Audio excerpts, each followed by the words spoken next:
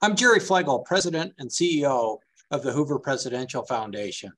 Before I start the program, I'd like to share some upcoming events with you.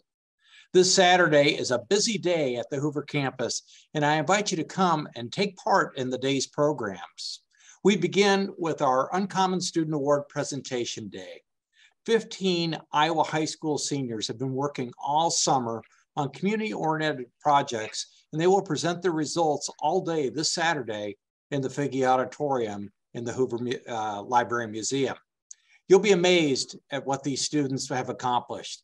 It begins at 9 a.m., ends at 5 p.m., and with presentations about every 20 minutes. I hope you'll come and watch a few of them, if not all, this weekend. We'll live stream them uh, on our Facebook page as well but it's going to warm up and be a great day to get out to the Hoover campus.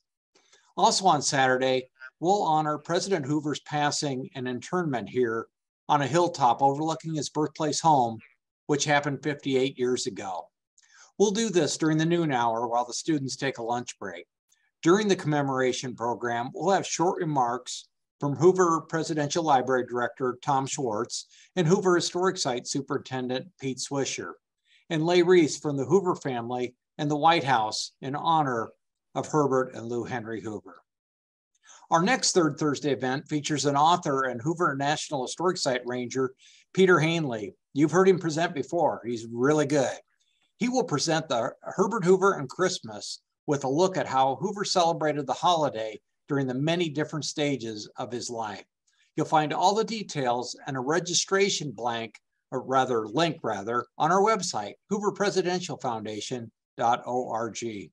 And of course, there's lots of other things to see and do on the Hoover campus. So drop by anytime. The museum is open seven days a week from nine to five, as well as the National Historic Site and the historical buildings there. The blacksmith shop is up and running yet this month, and there are regular ranger talks each week. Visit the National Historic Site's website at nps.gov slash HEHO and check out their online calendar. I hope you'll come and visit us soon with your whole family. Also on our website, you can learn about a major fundraising campaign for the renovation of the Hoover Presidential Library and Museum exhibit space. It's been 30 years since the last renovation, and we are excited about bringing new technology and other updates into the museum. We have a special benefit for Iowa taxpayers who contribute to the Timeless Values campaign, where you can earn a 25% Iowa state tax credit for your gift of any size, no matter how much the gift is. As for tonight's program, I encourage you to enter any questions you have for Paul in the Q&A link on the edge of your screen. You can even vote for someone else's question if it's of interest to you as questions with more votes tend to get asked first, and we get usually a lot of questions. So I'm pleased to welcome author, teacher, and historian Paul Juhl to the program. Paul is a retired educator, teacher, counselor, and administrator in both public and private schools in Iowa and Switzerland. He's a collector of photographic images from the later decades of the 19th century, resulting in a large collection of stereographs and cabinet cards that are now housed at the State Historical Society of Iowa in Iowa City. He's done extensive research on Herbert Hoover and West Branch and has some very interesting historical photos of West Branch to share with us tonight. Growing up in West Branch, I am personally really looking forward to his presentation. The presentation tonight is called A Hoover Homecoming Photo Album, August 1928, and contains some images you've never seen before from Hoover's campaign visit. Paul, welcome to Third Thursday at Hoover's. Well, thank you very much, Jerry. I'm really happy to be uh, part of the um, Herbert Hoover Presidential on uh, Library and Museum presentation. Um, tonight, I'd like to share with you some photographs from a very special time in the lives of uh, the Hoover family. I hope you will enjoy my talk. Uh, I'm using numerous images uh, from the Presidential Library and Museum, and also a few that were taken by the Kent, uh, a man named Kent, and they're from the State Historical Society of Iowa. What I've tried to do here is to put together kind of a picture album uh, that this Hoovers could have very well put together to remember the event.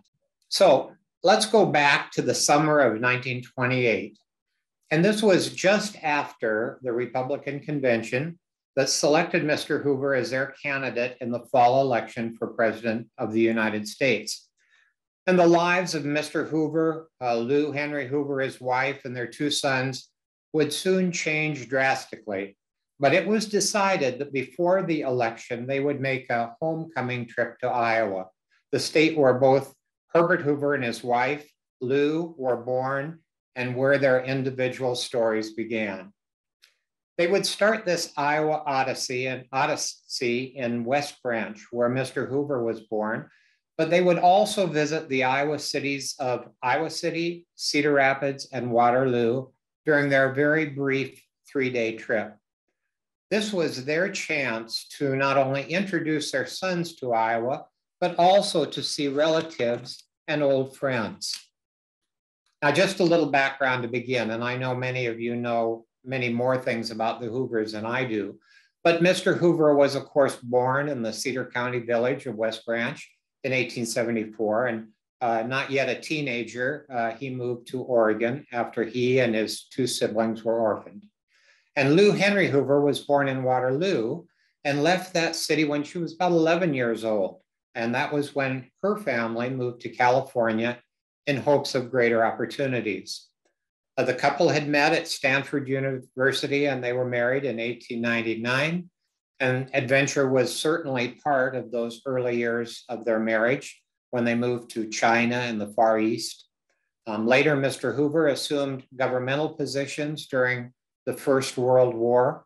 And, and in fact, at the time of his visit to West Branch in 1928, Mr. Hoover was serving as Secretary of Commerce under the administration of President Calvin Coolidge. Now, for the Hoover's two sons, uh, this visit to Iowa after the really exciting uh, Kansas City Republican Convention was a chance to see the people and places that their parents had described to them over the years. Both Herbert Jr., who was 25, and Allan, who was 21, they were at the beginnings of their careers. Herbert Jr. already had a degree from Stanford in engineering, which he had obtained in 1925. He was married, and Allan was yet a college student. And the sons were looking forward to seeing the Iowa sites. So let's get started, and through photographs, we'll join the Hoovers in Iowa in 1928. Now, this photo was actually taken the night before their arrival, their August 21st arrival. And there you can see volunteers uh, hoisting large banners that appeared on several of the major streets. West Branch certainly wanted everyone to know that this was the birthplace of Mr. Hoover. Uh, this one was placed on uh, North Downey Street, I think just north of Main Street. Um, a second banner uh, here, um, you can see was, uh, uh, this was taken probably on the morning of the visit. And this banner was near the intersection of Downey and Main Streets. And as I said, the intent was certainly clear to let everybody know that Mr. Hoover had been born here in West Branch. Uh, actually, the night before his arrival, there had been a really a strong windstorm and rainstorm. And uh, it, a lot of the buntings were taken down by the wind and uh, some of the flags. And so there was a quick effort to get everything in place. And the sun was shining that next day. It was a bit of a sad time because just on July 18th, uh, Lou's father had passed away. Um, and so there was a, a, a feeling of mourning for, for the family. Well, the Hoovers came by train. And uh, here we see a, a, large crowd of people milling around the train uh, just after it had pulled into the station. And West Branch citizens, of course, were really excited to see them. And the word quickly spread amongst the crowd that the Hoovers would be coming out of the rear of the train, the caboose. Um, a band had begun to play and crowd was all standing near this Rock Island train depot. Um, and for many, it, it meant rising rather early in the day in order to get the very best spot to see Mr. Hoover and Mrs. Hoover and their two sons. Uh, the depot building is there in the distance, it's shown in the background. And after the family arrived, there were some open air cars uh, that would take the Hoover family through the main uh, business district of the town. This is, it's kind of interesting too that uh, it was always kind of an annoyance uh, on railroad maps for the people of West Branch uh, because West Branch didn't appear on the map. Uh, it went directly from West Liberty to Elmira. And so some of these men milling around were probably saying, uh, well, we're going to get West Branch probably in capital letters on the map after this. Well, here is Mr. Hoover, and he's pausing um, briefly uh, before he descends the stairs of this Golden State. You can see the wording there, caboose. And this was just after the arrival in West Branch on August 21st, 1928. That emblem that you see, it contains uh, oranges, which are quite appropriate for the Hoovers uh, because uh, for the most part, now they called uh, the Golden State of California their, their home. Um, the remainder of the Hoover family, Mrs. Hoover, Herbert Jr., and Allan, uh, they would follow Mr. Hoover in leaving the train. Um, you note too that uh, Mr. Hoover was not, you can see his hat in his hand. Uh, he was not without that hat the entire day, although much of the time it was Allan that carried it for him, his son.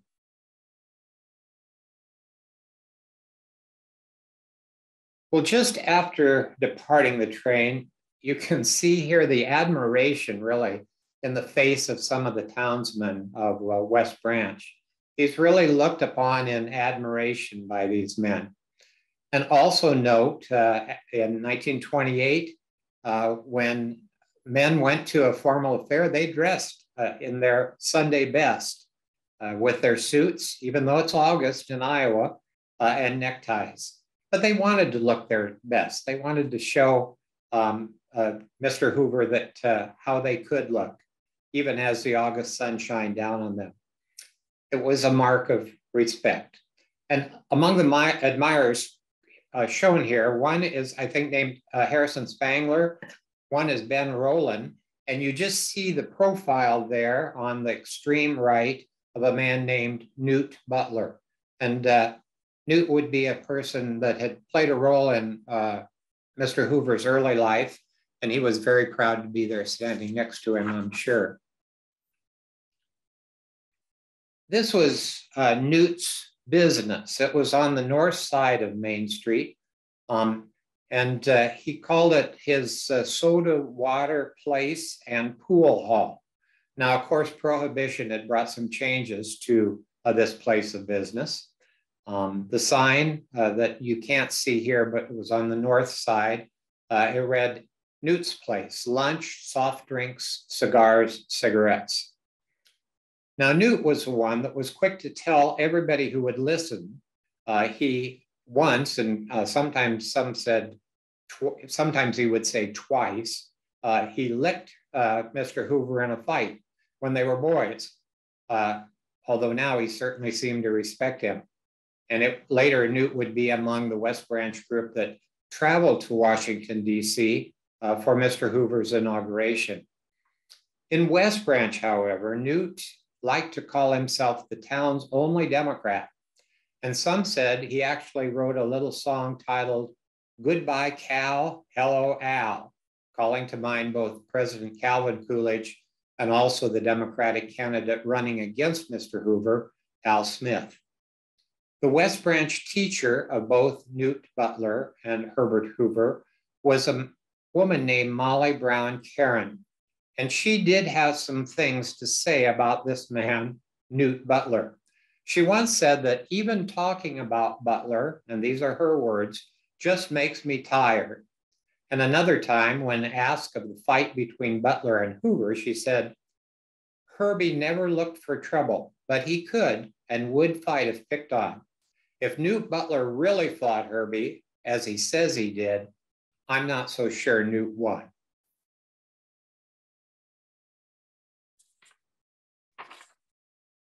Well, here the family is seen uh, loading into that six passenger vehicle, uh, an open air um, vehicle.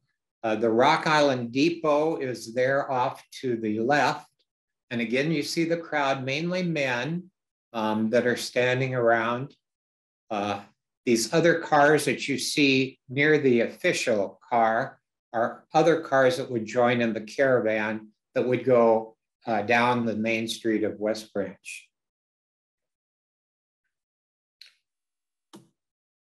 And a little closer view of the car.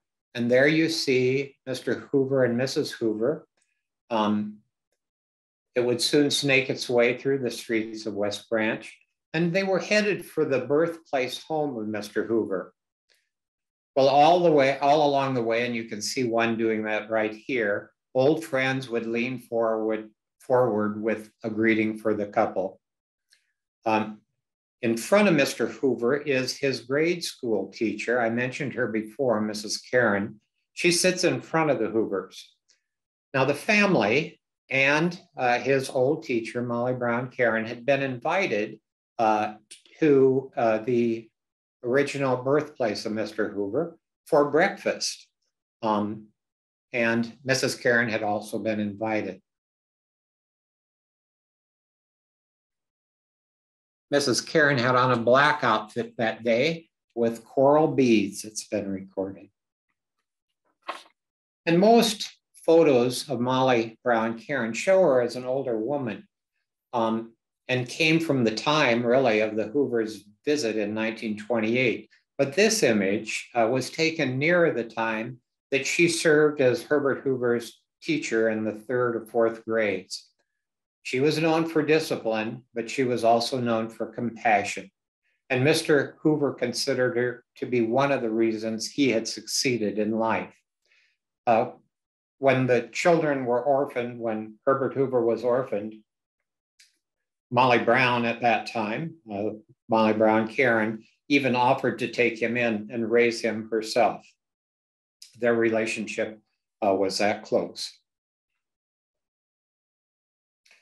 Uh, it is also recorded that only one other time, Molly did go along uh, to um, Washington with the group after the election, and only one other time did she contact that we know of that did she contact Mr. Hoover, and that was during the Depression.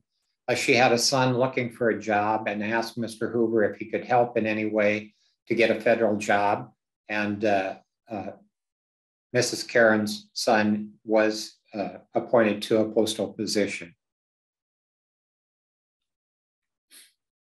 Well, this, of course, is the way uh, the birthplace house looked in 1928. Um, the original house is that one story uh, building there off to the right. Um, it had been changed um, over the years. Uh, this two story section of the home had been attached uh, some years uh, after the Hoovers had, had moved out of it uh, to enlarge the home. And at that time, there was a Mrs. Jenny Skellers who was living there. Um, the original home there was 14 by 20 feet, I think. Um, and Mrs. Skellers was really looking forward to uh, serving them breakfast in that original part of the building, uh, the two room part that Mr. Hoover would have been born in. Um, she had planned a really authentic menu, an uh, authentic Iowa menu, I should say, she was going to have sliced peaches and cream, um, powdered biscuits um, with honey or strawberry jam, um, ham and eggs, and some fried potatoes. And in fact, those fried potatoes had come out of her garden uh, that very morning.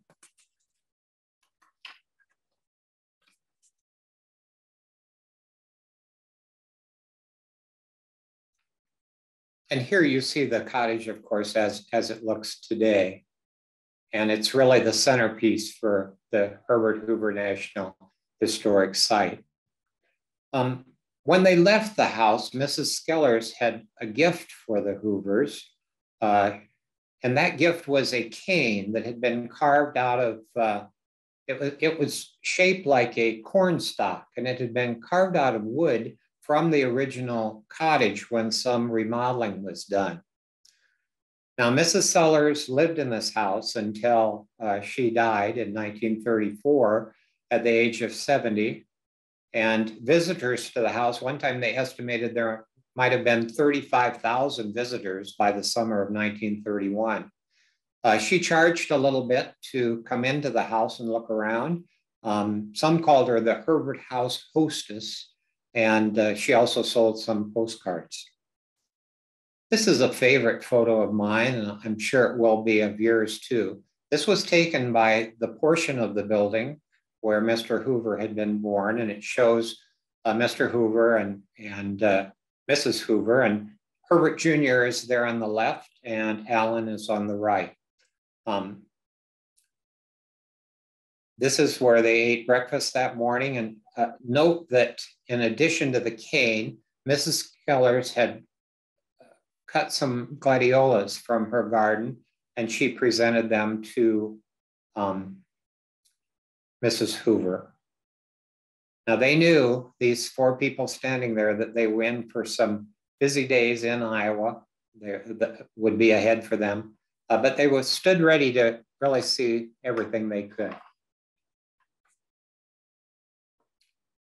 After the bre- after breakfast, this was the first stop along the way. Um, they first wanted to visit the cemetery where Mr. Hoover's parents were buried. And here they found these two modest stones at the burial site of Jesse and Huldah Hoover. At that, on that day, there was a beautiful wreath between the two stones that had been given uh, by an organization that Huldah felt strongly about, the Women's Christian Temperance Union. The crowd kind of stayed back as the four in the Hoover party uh, stepped forward trying to give them a little privacy. They stood quietly for a short time. You can see here the inscription on Jesse Hoover's stone read, Come unto me, ye that labor and are heavy laden, and I will give thee, give ye rest. Uh, several times, actually, during the day, tears came to Mr. Hoover's eyes when he would remember the pain of the loss of his parents and the feelings he had of being an orphan uh, during those final years in West Branch. Well, next up was an attempt to find the old swimming hole that was uh, now along this uh, uh, waterway that was now being called the Hoover Creek. Well, of course, that small stream that Mr. Hoover and his uh, comrades had uh, enjoyed had meandered a lot over the 40 years. Uh, so none of them were really sure exactly where it had been. Everybody, all of them, a lot of men followed them out to see if they could find the swimming hole, and each had kind of a different idea of uh, of where it was. Most were certain uh, because someone had told them that it was by the rail tracks and willow trees. And Mr. Hoover remembered it in much the same fashion. He also remembered that it was always quite muddy, and the boys that swam in the old swimming hole had to wash themselves thoroughly after a swim in the creek. Well, it took a lot of searching, uh, but Mr. Hoover now in this photo stands near the location of what he felt might be the old swimming hole. You know, as you sit here and look at him, you just wonder what he was thinking as he stood alone at that site, uh, remembering those happy times of messing around in the mud and swimming so long ago. Well, the local high school kind of served as the headquarters for the entire operation uh, during the visit of the Hoovers. Um, and here you can see with uh, smiles and quickness of step, Mr. and Mrs. Hoover uh, are exiting uh, the uh, West Branch Schoolhouse. Um, it's also where all the radio broadcasting was being set up uh, for the speech um, that Mr. Hoover was be giving. And it's also adjacent to two large tents uh, that he would be speaking in. Here you see some of the students uh, forming a pathway. Many of them have stalks of corn. That seemed to be the symbol of the visit. And many of them are also wearing what were called Hoover dresses. I tried to find if any of those still existed, but I had no luck with that. But these young people that were standing next to the Hoovers would certainly long remember this day. And here, with the corn stalks uh, forming an arc, uh, they continued out of the West Branch High School after a short visit there. Uh, with the uh, excitement that only youth can bring, uh, the students, boys and girls, were shouting um, shouts of joy. It's a little difficult, as, as I said, to see these Hoover dresses. We don't really see them in this one or the corn stalks. Um, but as I said, many were shouting Hoover for president, and they hoped they might be photographed with Mr. or Mrs. Hoover. And the two Hoover sons followed their parents out of the building and really quite amazed at the outpouring of affection uh, from the um, young people.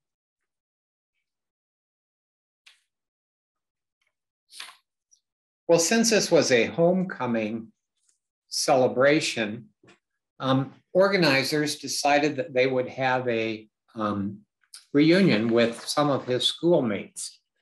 And here, Mr. Hoover, uh, seated in the center, of course, is shown with his West Branch classmates and two of their teachers uh, who were seated on either side of Mr. Hoover.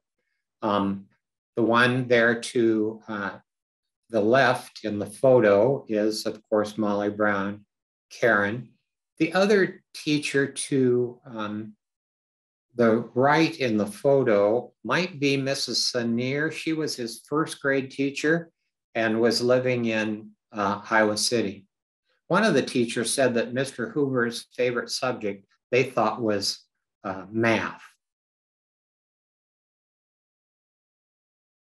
They all had lots of stories to tell about Mr. Hoover when they had known him as a young boy. And of course, he liked to tell stories himself about his early years. Um, a few of these classmates still lived in West Branch, but most of them had traveled uh, many miles for this reunion. With the exception of the two teachers, I would guess that most of the people assembled here were about 54 years of age uh, when the photo was taken. And of course, it was a great day to be a Hoover. Um, in fact, some people called it Hoover Day. And these are some of Mr. Hoover's relatives. Um, many of them uh, bore the name Hoover, some were Pembertons. Um, actually, on the reverse of this photo that had been given to Mr. Hoover, uh, someone had written, I thought you might like this photo of your aunts and uncles the occasion was probably a picnic dinner uh, that was reserved um, for uh, just members of the family.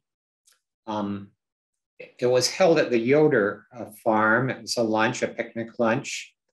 Um, and some of the women were wearing a, even a, a, Hoover apron. Um, it was done um, before the major speech that Mr. Hoover would be giving that evening. And of course, these relatives were very proud of the accomplishments of their kinsmen. And as the day went on, more and more people were coming in on the trains. They were all interested in Mr. Hoover's speech um, that evening. And there were concession stands all around the grounds. Uh, especially popular were cold drinks that they were being served in big tubs of ice. And the evening meal that they had um, before uh, he spoke uh, was again a typical Iowa one with lots of fried chicken and uh, certainly lemonade.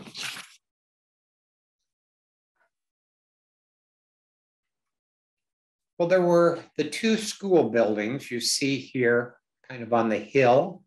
um, that were dominant, um, but they had put in these massive tents that had been erected on what is now a football field in West Branch. Uh, some said the large tents had come from a circus in the area, they were so big, but others said they had been borrowed from a Chautauqua that was passing by. At any rate, they were large enough uh, for the thousands of people who had come to West Branch to hear Mr. Hoover speak. Uh, the tents were off the ground, you can see raised off the ground. That allowed for good ventilation, and it also made it easier for those assembled on the grass surrounding the tents to hear what was being said inside. Uh, this area is now uh, where the local football teams uh, play their games. And this is a really rare photograph of the interior of one of the big tents uh, before any of the people were seated. Uh, boards were placed on hollow cement bricks, and that provided some comfort. And of course, no backs on those, but some comfort for the 15,000 people that they thought could attend. Uh, the large supporting poles are seen to keep the structure in place. And people entering, um, because it was recessed area, they had to descend into the tent structure as the floor was lower uh, than the adjoining land. Of course, everybody wanted to get there early to position themselves to get the very best view of the nominee, Mr. Hoover and his family members. And not everyone was able to find a seat, uh, so there were lots of late arrivals. But if they brought a blanket, uh, they had plenty of room. Um, and the hot August day had actually started to cool down a little bit when Mr. Hoover began to speak, and it seemed to be relatively comfortable for all involved. Many were really interested in what uh, the politicians that preceded Mr. Hoover's speech had to say, and there was also some musical entertainment for all to enjoy. Um, preparations by the various committees in West Branch had made this uh, entire experience enjoyable for all. One of the singers was a young woman that had just returned from Europe, uh, an Iowan, uh, Ilza Niemack. Um, she played uh, the violin, and at one point she played our familiar Iowa corn song. Um, we're from Iowa, Iowa, that's where the tall corn grows. Well, the large assembly seemed to erupt when Mr. Hoover uh, finally entered. And he delivered that speech in the early evening hours and spent part of the speech uh, just reminiscing about his childhood. Uh, they had a wooden platform there uh, created for him and his family and some of the other honored guests. And in front of the lectern uh, is a um, microphone um, equipment that would broadcast his speech uh, to millions uh, over the radio. And as I said, many of the uh, honored guests, mainly politicians, had also given short speeches during the afternoon. And most were on the uh, issues of farming and farm uh, related policies.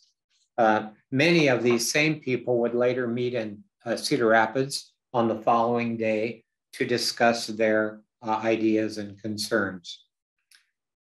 The evening ended with the whole group singing Auld Lang Syne. They also sang the Star Spangled Banner. It was not yet our national anthem, that came later uh, during uh, Mr. Hoover's presidency. There was just ovation upon ovation. Um, since there were no, uh, at that time, the, the, any lodging was totally full. Uh, so the Hoover family spent the night with their relative, the Yoder family. Well, another really interesting part of this story, and you're wondering right now, why is he putting a football player uh, in this story? But um, this man is named Fred, and he was always known as Duke Slater. And Mr. Slater had a concession stand that same day near those large tents I just showed you, and he was selling chicken sandwiches. And at that time, he was just finishing up his law degree at the University of Iowa. which he had achieved in 1928. Well, Mr. Slater went on to play professional football and was later a judge in the city of Chicago for over 20 years. Uh, he was an Iowan. He came from Clinton, Iowa, where he was a, an athlete and was on the 1918 to 1921 football team for Iowa. Oh, he had many honors over the years College Football Hall of Fame, Pro Football Hall of Fame, first African American lineman in NFL history, six time All Pro selection, first team All American.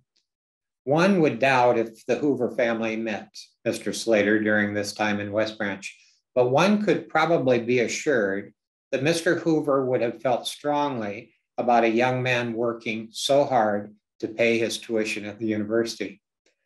There's a dormitory at the University of Iowa named in his honor. And uh, just recently, within the last year, I think, uh, they named the football field itself uh, in honor of Duke Slater.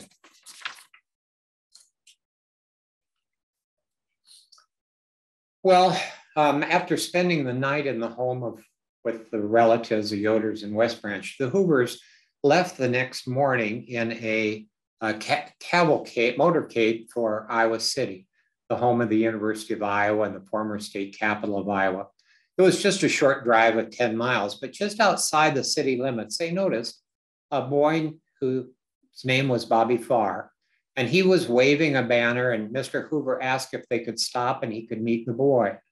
Well, Bobby was so honored and told the newspaper people that if I were old enough to vote, I'd be voting for Mr. Hoover.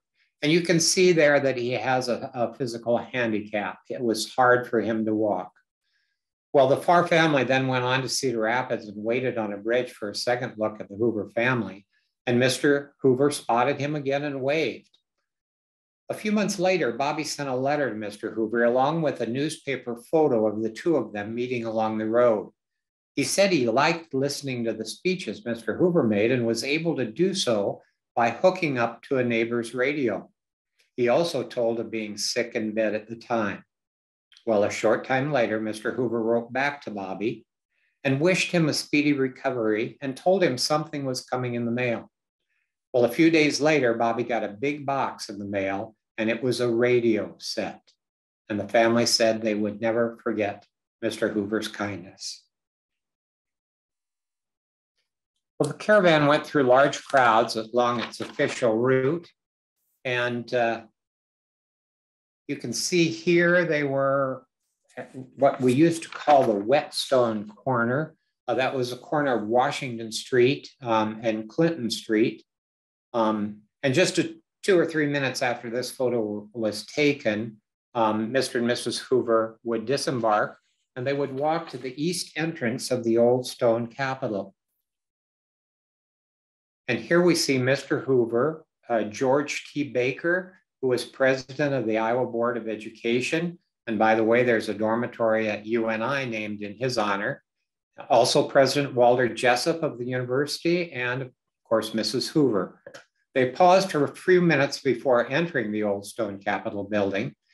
And Mr. Hoover was really eager to see the change in the building because renovation was done just a few years before, I think in about 1922.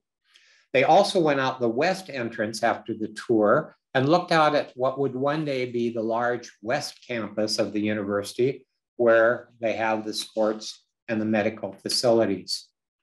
One thing that Lou did remember about the building uh, was this beautiful old unique staircase. Of course, if you've ever been in the old Capitol, it's something you don't forget. It's spiral and beautiful and was built in the 1840s. Well, the time in Iowa City was brief, and then the party uh, went on to Cedar Rapids, about 20 miles to the north. Well, Cedar Rapidians, they were also eager for a look at the Republican candidate for president. And all along the route within the city, the lampposts were decorated with this large ear of corn poster and a likeness of Mr. Hoover on the top. Here, a young man named Robert Morton is adjusting one of the, these colorful displays. Unfortunately, the black and white doesn't show it as nicely. Again, that corn symbol, source of pride for Iowans, and uh, thus they now connected it with the pride in their native son. the Hoovers were on their way to a large home called Brucemore, which was at 2160 Linden Drive Southeast. You can see the crowds. Um, this was a new department store, uh, Newman's, uh, that had just recently purchased a previous store there called Denneke's. Um, you'll see the flags of welcome that and of the United States that blew in the breeze. Air was really full of excitement, a deafening sound of whistling, whistles and hand clapping and yelling. And the streets were full of uh, flags and banners. They were throwing confetti off some of the tops of the buildings. Even airplanes were circling ahead.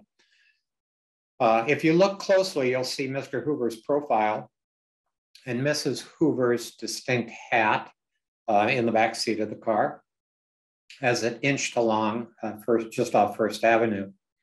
Uh, the Brucemore would be the Hoover's home base for the night. And I'm sure they were looking for a little time away from the crowds of people. What's interesting about a couple of these photos, they were taken um, just with a little brownie camera, but on the back they said they were taken by Mrs. C.P. Juhl, J U H L. Well, I'm P.C. Juhl, J U H L. Um, I don't think there's any relationship, but when I first saw it, I thought, well, that was unusual. Um, uh, someone by my, the same name I have um, at one point taking pictures of Mr. Hoover. And here is Brucemore. Uh, it's very impressive, 40 acre estate uh, owned by Mrs. George Douglas. And it was about two miles from the city center. Um, they were greeted by Mr. and Mrs. Howard Hall. She was the daughter of Mrs. Douglas. Uh, the rest of the Douglas at that time, they summered at, they had a home in Charlevoix, Michigan. And of course, the Coe band had come out. Uh, they'd been in West Branch, but they came on to Cedar Rapids. They were part of the celebration, Coe college Band. Um, but before they even came up to the house, uh, there was a kids' parade of uh, thousands of, kids uh, that paraded by. Um, a lot were Boy Scouts and Girl Scouts. And of course, the Girl Scout organization was very dear to Mrs. Hoover. And some of those Girl Scouts presented her with bouquets of flowers. Um, and she sat on the Brucemore lawn with them and sang some songs that would be familiar to them. And here the Hoovers are chatting quietly with dignitaries in the reviewing stand. And you see some of these young people uh, lined up in their Girl Scout outfits um, to get a good look at Mr. and Mrs. Hoover. Other groups were Campfire Girls, walked by, Pioneers walked by, YMCA kids, Sunday school children, and even children from nearby communities and farms. Well, later that same afternoon, the family would break up, and Mr. Hoover was attending meetings in Cedar Rapids at the uh, Roosevelt, Roosevelt Hotel, and uh, Lou Hoover and her two sons traveled to Waterloo uh, by car uh, her place of birth and hometown. And you can just see Mrs. Hoover kind of right through that side window there. And she was so pleased to be driven through the streets that she had known as a girl. Uh, it's also very pleasing for her to be able to show her two sons some of the places she had talked about over the years. Um, then, following the tour, um, she had some speaking and, and greeting obligations uh, to do. This house um, had actually been torn down two years before the visit. It was torn down in 1926, but this was the house that most believed um, Lou Henry had been born in. Originally, it was a private home and its location in Waterloo later became a business district. And at the time of this photo, it was operated by, you can see, I. Wart- Wortley, uh, an, an, interior decorator who sold paint and wallpaper. Um, but uh, they did visit this site where the building had been. And now there are two bronze statues actually there uh, to commemorate it. It's right by the freeway that goes through the city. Uh, here is one of those two statues. Um, this one is uh, uh, one that was done by Chris Bennett from um, Bettendorf uh, shows her sitting on a wicker chair with her left hand resting on a globe. And the other one, she's standing, um, and it was done in 2004 by John Jago. But the destination was a place called the Snowden House. And that was the home of the Waterloo Women's Club, where Mrs. Hoover and her two sons were to have lunch. Uh, the house was once a private home, but it, it proved to really be a perfect setting for this occasion. And Mrs. Hoover said in a really gracious manner a few words to the group assembled on the lawn. Uh, there were also invitations to take part uh, uh, of the inside activities, uh, and they were much sought after, of course. Uh, the house is still standing in Waterloo. It's part of the Grout Historical Group, um, but is no longer the location of the Waterloo Women's Club. Lou didn't, Lou Hen Henry Hoover didn't like public speaking much, but of course she did a wonderful job. Uh, here she begins her speech, um, microphone in front, as she looked out at a large group on the lawn of the Snowden House. Uh, her words being amplified, and the porch there you can see is surrounded with flowers and ferns. The crowd hushed immediately and waited for every word she would speak. Uh, the women of Waterloo, some of whom knew Mrs. Hoover as a young classmate and playmate, were exceedingly proud of her many accomplishments in world travels. She could speak, I think, five languages, including Chinese, and had a degree in geology from Stanford. Um, they held a strong desire that she would, in the coming months, uh, be the first lady of the land. Now, later, um, some of those same uh, former classmates would gather at the Russell Lamson Hotel in downtown Waterloo. And Mrs. Hoover was really looking forward to this. Um, she would be able to see some of her former teachers. She would be able to visit with her former uh, classmates. But before that, she did, um, she was with the group inside the Snowden House. And this is a group of the Women's Club. And They took a picture and Mrs. Hoover is in it. And if you can find her, she's in kind of that back row, about the eighth from the left. She has on a black hat and the woman right in front of her has on a hat with a large emblem of some kind of it, uh, of some kind on it. Um,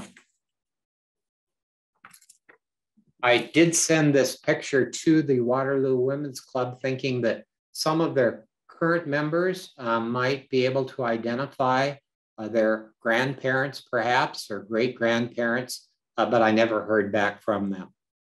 Um, some of the women are bareheaded with hats in their laps, but keeping with the fashion of the day and wearing a hat uh, uh, was what was, was in in terms of fashion. Um, and with suffrage only a few years before, many of these women were really more eager to take a political role. Well, the trip to Waterloo took only, they only stayed four hours. Um, and Mr. Hoover uh, was working all of that time at the Hotel Roosevelt uh, in um, Cedar Rapids. So Mrs. Hoover and her sons left Waterloo to return to Cedar Rapids and rejoin Mr. Hoover. And then they would leave the next morning to begin campaigning for the presidency. Well, they were exhausted, but they had many, many memories uh, of this very short visit. The next morning, on their way out of um, Cedar Rapids, the Hoovers made one final stop. And this was to see the really stunning and beautiful stained glass window that had just been completed uh, in the Veterans Memorial Building on Mays Island. It contained 10,000 individual pieces of stained glass and was said to be the largest stained glass in America at that time. And of course, it was done by Cedar Rapids and Iowa's own uh, Grant Wood. Here you see the Lady of Peace and six soldiers representing the wars up until 1928 on the bottom. And it had been done in Germany. Grant Wood had gone there to work on it in Germany with the superb German uh, stained glass makers. And it was completed, as I said, at the time of the visit. On the very final slide I will show you, this is outside of the elementary school in West Branch. I love it. It was done in 2017 It honors Mr. Hoover and it reminds those West Branch students every day who pass by of the importance of uh, Herbert Hoover in their United States history. So I thank you for your attention today. I really enjoyed doing the research on this project. I'd really like to thank uh, not only Jerry, but Brad and Tom, Spencer, Matt, and all of the others at the Herbert Hoover Presidential Library and Museum uh, for allowing me to use the images and being part of this project. So now I will go out of my share, I hope, Jerry, and bring you up again. Okay. Well, um, I, you know, Paul, great presentation, and uh, the pictures I find particularly interesting. And we got a few questions, if uh, and we got a few minutes, if you don't mind ask, uh, answering those. Well, I'll try to answer them. I don't okay. know whether I'll. I'll well, well, sounds, a good job. Well, sounds good. The first one is that you know, pretty. This this guy's pretty tough and mean, but it's uh, Dr. Tom Schwartz. yeah, I know. Yeah. Tom, Tom put down, he says, critics then and now argue that Hoover was cold and aloof without humor or warmth for people. Yet these images clearly show such characterizations are false. Why didn't Hoover allow images like these to be used in the campaign? Well, that's a good question. I, I didn't even know that he didn't uh, use any of the images in, in the campaign. Uh, but I thought he he should have, um, because they do portray a very warm family, uh, the, the entire family. Uh, I just thought they were having such a good time in those uh, three days. Uh, he had been back a couple of times before, uh, after he had left as, as an orphan, um, but this was a special time because now he was running uh, for the presidency of the United States. And um, everybody was so proud and continue to be proud of this man and his family. Well, the next question or uh, comment we got is uh, actually from a Hoover descendant, uh, Tamala Pink. Uh, she's in Cedar Rapids.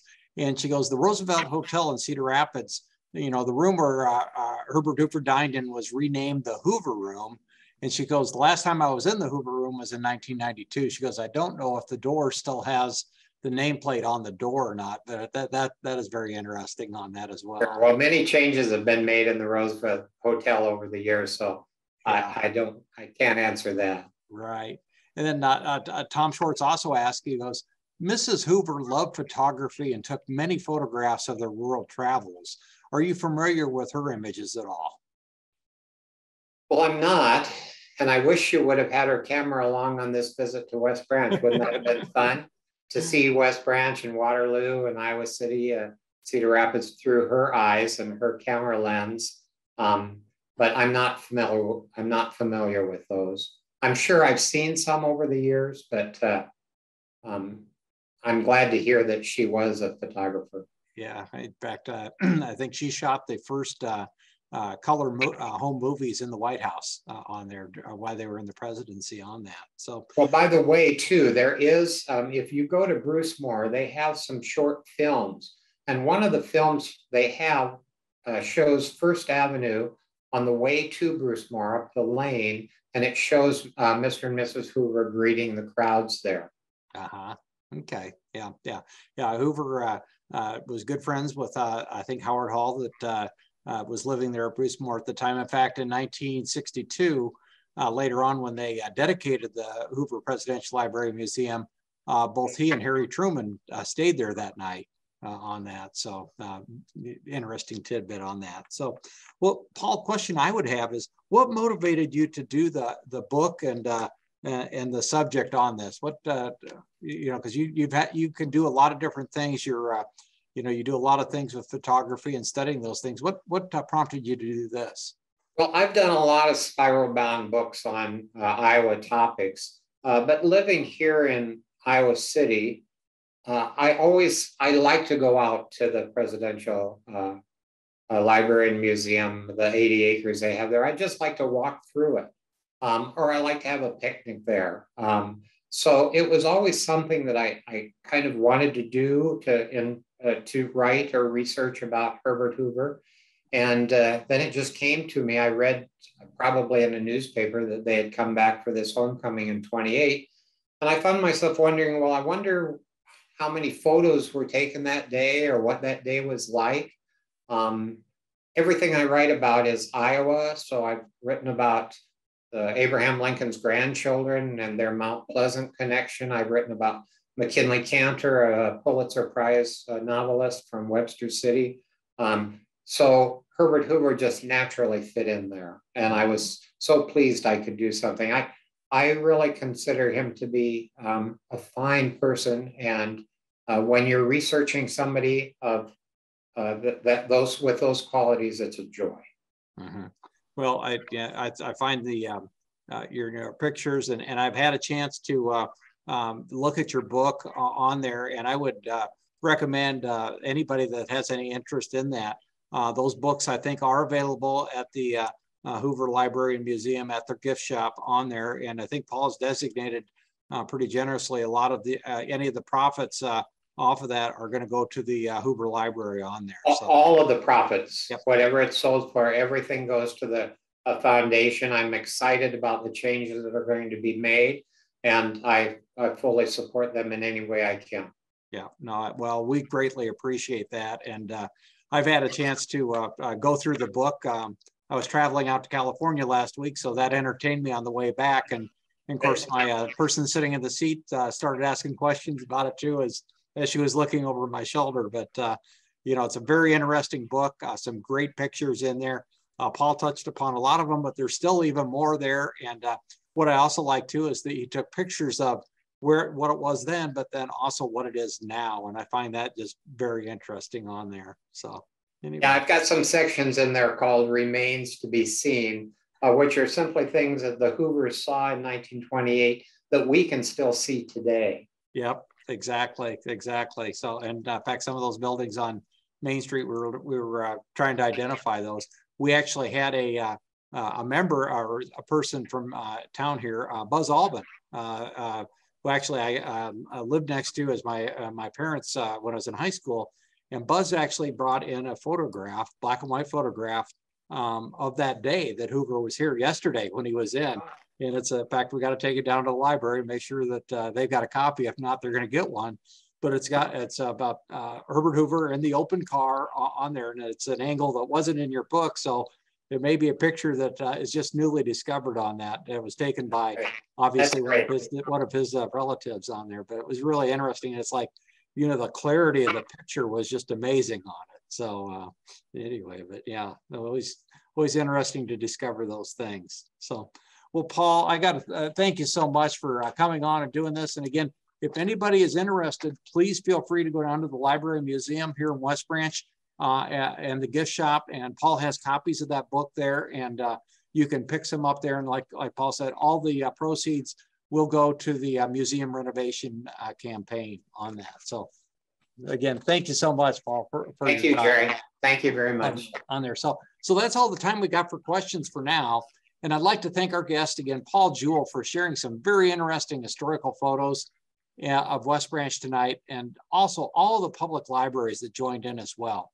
Now, remember, the Presidential Library is now open seven days a week from nine to five, and I invite you to visit a new temporary exhibit now open called Deliverance, America and the Famine in Soviet Russia, 1921 to 1923, featuring accounts of numerous humanitarian efforts by Herbert Hoover in the ARA as they work to feed 11 million people a day 100 years ago. Fascinating story, uh, subject, and uh, especially with everything that is going on uh, with Russia and Ukraine, uh, it, it's uh, timely today as well. So, and also I'd just remind you, don't forget to join us November 17th for our next Third Thursday program, where we'll hear from Ranger Peter Hanley about Christmas with the Hoovers. The Hoover Presidential Foundation staff is ready to assist you with your membership needs or charitable gifts in support of the Hoover campus and the museum renovation. You can also learn more about that and even show your support at timelessvaluescampaign.org. On behalf of all of us here at the Hoover campus and the participating public libraries, we thank you for joining us and look forward to your next visit to the Hoover campus. Good evening.